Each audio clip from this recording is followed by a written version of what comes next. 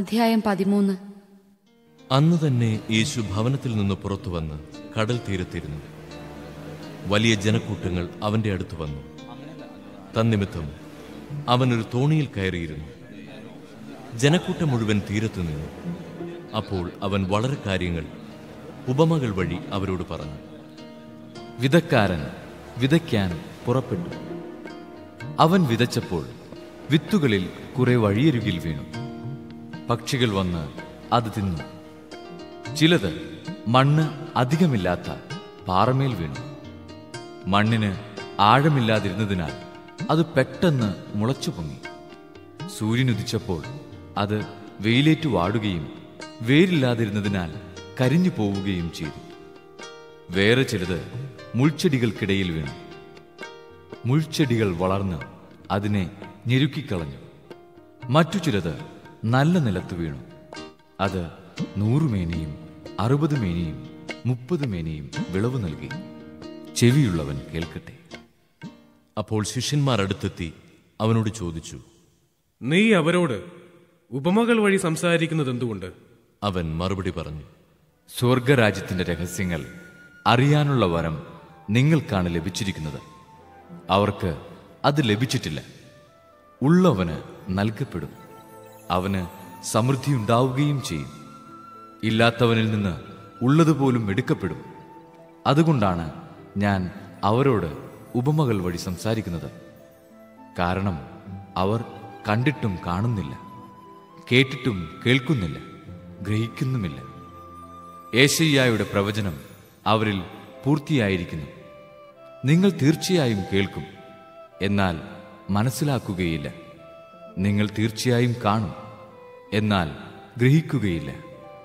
അവർ കണ്ണുകൊണ്ട് കണ്ട് കാതുകൊണ്ട് കേട്ട് ഹൃദയം കൊണ്ട് മനസ്സിലാക്കി മാനസാന്തരപ്പെടുകയും ഞാൻ അവരെ സുഖപ്പെടുത്തുകയും അസാധ്യമാകുമാറ് ഈ ജനതയുടെ ഹൃദയം കഠിനമായി തീർന്നിരിക്കുന്നു. ചെവിയുടെ കേൾവി മന്ദീഭവിച്ചിരിക്കുന്നു. കണ്ണ് അവർ അടച്ചു കളഞ്ഞിരിക്കുന്നു നിങ്ങളുടെ കണ്ണുകൾ ഭാഗ്യമുള്ളവ. എന്തെന്നാൽ അവ കാണുന്നു. നിങ്ങളുടെ കാതുകൾ ഭാഗ്യമുള്ളവ. എന്തെന്നാൽ അവ കേൾക്കുന്നു. സത്യമായി ഞാൻ നിങ്ങളോട് പറയുന്നു. അനേകം പ്രവാചകന്മാരും നീതിമാന്മാരും നിങ്ങൾ കാണുന്നവ കാണാൻ ആഗ്രഹിച്ചു. എങ്കിലും കണ്ടില്ല. നിങ്ങൾ കേൾക്കുന്നവ കേൾക്കാൻ ആഗ്രഹിച്ചു. എങ്കിലും കേട്ടില്ല. അതിനാൽ വിധക്കാരന്റെ ഉപമ നിങ്ങൾ കേട്ടുകൊള്ളുവിൻ. രാജ്യത്തിന്റെ വചനം കേട്ടിട്ട് മനസ്സിലാകാതിരിക്കുന്നവനിൽ നിന്ന് അവന്റെ ഹൃദയത്തിൽ വിതയ്ക്കപ്പെട്ടത് ദുഷ്ടൻ വന്ന് അപഹരിക്കുന്നു. ഇതാണ് വഴിയരികിൽ വീണ വിത്ത്. വചനം കേട്ടിട്ട് ഉടനെ സസന്തോഷം സ്വീകരിക്കുകയും തന്നിൽ വേരില്ലാത്തതിനാൽ അല്പനേരം മാത്രം നിലനിന്നിട്ട് വചനത്തെ പ്രതി ക്ലേശവും പീഡയും ഉണ്ടാകുമ്പോൾ തൽക്ഷണം വീണുപോവുകയും ചെയ്യുന്നവനാണ് പാറമേൽ വീണ വിത്ത്. ഒരുവൻ വചനം ശ്രവിക്കുന്നു എന്നാൽ ലൗകിക വ്യഗ്രതയും ധനത്തിന്റെ ആകർഷണവും വചനത്തെ ഞെരുക്കുകയും അത് ഫലശൂന്യമാവുകയും ചെയ്യുന്നു. ഇവനാണ് മുള്ളുകളുടെ ഇടയിൽ വീണ വിത്ത്. വചനം കേട്ട് ഗ്രഹിക്കുന്നവനാണ് നല്ല നിലത്ത് വീണ വിത്ത്.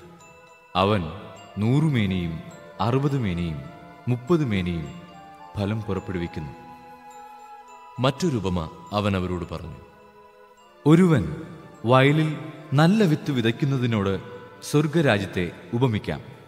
ആളുകൾ ഉറക്കമായപ്പോൾ അവന്റെ ശത്രു വന്ന് ഗോതമ്പിനിടയിൽ കള വിതച്ചിട്ട് കടന്നു കളഞ്ഞു ചെടികൾ വളർന്ന് കതിരായപ്പോൾ കളകളും പ്രത്യക്ഷപ്പെട്ടു.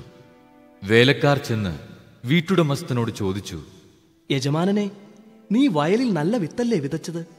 പിന്നെ കളകൾ ഉണ്ടായത് എവിടെ നിന്ന്? അവൻ പറഞ്ഞു ശത്രുവാണിത് ചെയ്തത്. വേലക്കാർ ചോദിച്ചു ഞങ്ങൾ പോയി കളകൾ പറിച്ചു കൂട്ടട്ടെ? അവൻ പറഞ്ഞു വേണ്ട. കളകൾ പറിച്ചെടുക്കുമ്പോൾ അവയോടൊപ്പം ഗോതമ്പ് ചെടികളും നിങ്ങൾ പിഴുതു കളഞ്ഞെന്ന് വരും. കൊയ്ത്തുവരെ അവ രണ്ടും ഒരുമിച്ച് വളരട്ടെ. കൊയ്ത്തുകാലത്ത് ഞാൻ കൊയ്ത്തുകാരോട് പറയും ആദ്യമേ കളകൾ ശേഖരിച്ച് തീയിൽ ചുട്ടുകളയുവാൻ അവ കെട്ടുകളാക്കി വയ്ക്കുവിൻ. ഗോതമ്പ് എന്റെ ധാന്യപുരയിൽ സംഭരിക്കുവിൻ. വേറൊരു ഉപമ അവൻ അവരോട് പറഞ്ഞു. സ്വർഗരാജ്യം ഒരുവൻ വയലിൽ പാകിയ കടുകുമണിക്ക് സദൃശം. അത് എല്ലാ വിത്തിനെയും കാൾ ചെറുതാണ്.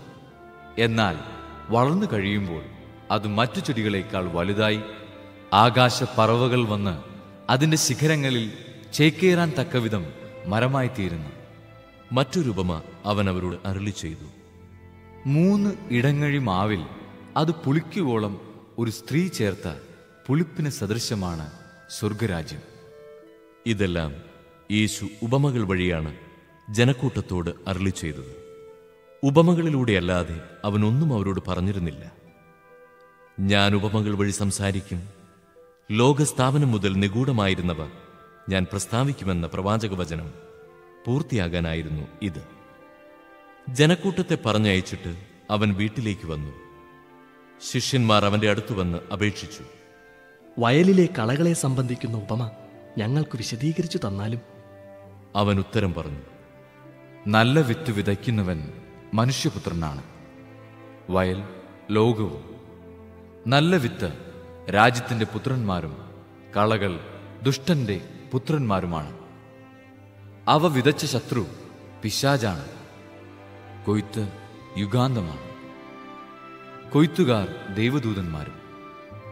കളകൾ ശേഖരിച്ച് അഗ്നിക്കിരയാക്കുന്നതെങ്ങനെയോ അങ്ങനെ തന്നെ യുഗാന്തത്തിലും സംഭവിക്കും.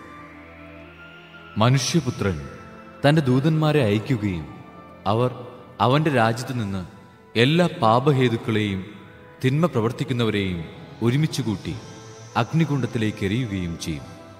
അവിടെ വിലാപവും പല്ലുകടിയുമായിരിക്കും. അപ്പോൾ നീതിമാന്മാർ തങ്ങളുടെ പിതാവിന്റെ രാജ്യത്തിൽ സൂര്യനെ പോലെ പ്രശോഭിക്കും. ചെവിയുള്ളവൻ കേൾക്കട്ടെ. സ്വർഗരാജ്യം വയലിൽ ഒളിച്ചു വച്ചിരിക്കുന്ന നിധിക്ക് തുല്യം. അത് കണ്ടെത്തുന്നവൻ അത് മറച്ചു വയ്ക്കുകയും സന്തോഷത്തോടെ പോയി തനിക്കുള്ളതെല്ലാം വിറ്റ് ആ വയൽ വാങ്ങുകയും ചെയ്യുന്നു. വീണ്ടും സ്വർഗരാജ്യം നല്ല രത്നങ്ങൾ തേടുന്ന വ്യാപാരിക്ക് തുല്യം. അവൻ വിലയേറിയ ഒരു രത്നം കണ്ടെത്തുമ്പോൾ പോയി തനിക്കുള്ളതെല്ലാം വിറ്റ് അത് വാങ്ങുന്നു. സ്വർഗരാജ്യം എല്ലാത്തരം മത്സ്യങ്ങളെയും ശേഖരിക്കാൻ കടലിൽ എറിയപ്പെട്ട വലയ്ക്ക് തുല്യം. വല നിറഞ്ഞപ്പോൾ അവർ അത് കരയ്ക്ക് വലിച്ചു കയറ്റി. അവർ അവിടെ ഇരുന്ന് നല്ല മത്സ്യങ്ങൾ പാത്രത്തിൽ ശേഖരിക്കുകയും ചീത്ത മത്സ്യങ്ങൾ പുറത്തേക്ക് എറിയുകയും ചെയ്തു. യുഗാന്തത്തിലും ഇതുപോലെ സംഭവിക്കും. ദൈവദൂതന്മാർ ദുഷ്ടന്മാരെ നീതിമാന്മാരിൽ നിന്ന് വേർതിരിക്കുകയും അഗ്നികുണ്ഡത്തിലേക്ക് എറിയുകയും ചെയ്യും. അവിടെ വിലാപവും പല്ലുകടിയുമായിരിക്കും. നിങ്ങൾ ഇതെല്ലാം ഗ്രഹിച്ചുവോ? അവൻ ചോദിച്ചു. ഉവ് അവർ ഉത്തരം പറഞ്ഞു. അവൻ തുടർന്നു. സ്വർഗരാജ്യത്തിന്റെ ശിഷ്യനായി തീർന്ന ഓരോ നിയമജ്ഞനും തന്റെ നിക്ഷേപത്തിൽ നിന്ന് പുതിയതും പഴയതും പുറത്തെടുക്കുന്ന വീട്ടുടമസ്ഥന് തുല്യൻ. യേശു ഈ ഉപമകൾ അവസാനിപ്പിച്ച ശേഷം അവിടെ നിന്ന് പുറപ്പെട്ട് സ്വദേശത്ത് വന്ന് അവരുടെ സെനഗോഗിൽ പഠിപ്പിച്ചു. അവർ വിസ്മയഭരിതരായി ചോദിച്ചു ഇവൻ ഈ ജ്ഞാനവും ശക്തിയും എവിടെ നിന്ന്? ഇവൻ ആ തച്ചന്റെ മകനല്ലേ? മറിയമല്ലേ ഇവന്റെ അമ്മ? യാക്കോബ് ജോസഫ് ഷിമയോൻ യൂദാസ് എന്നിവരല്ലേ ഇവന്റെ സഹോദരന്മാർ? ഇവന്റെ സഹോദരിമാരെല്ലാം നമ്മുടെ കൂട്ടത്തിലുണ്ടല്ലോ. പിന്നെ ഇവന് ഇതെല്ലാം എവിടെ നിന്ന്? അവർക്ക് അവന് ഇടർച്ചയുണ്ടായി. യേശു അവരോട് പറഞ്ഞു പ്രവാചകൻ സ്വദേശത്തും സ്വഭവനത്തിലുമല്ലാതെ മറ്റെങ്ങും അവമതിക്കപ്പെടുന്നില്ല. അവരുടെ അവിശ്വാസം നിമിത്തം അവൻ അവിടെ അധികം അത്ഭുതങ്ങൾ പ്രവർത്തിച്ചില്ല.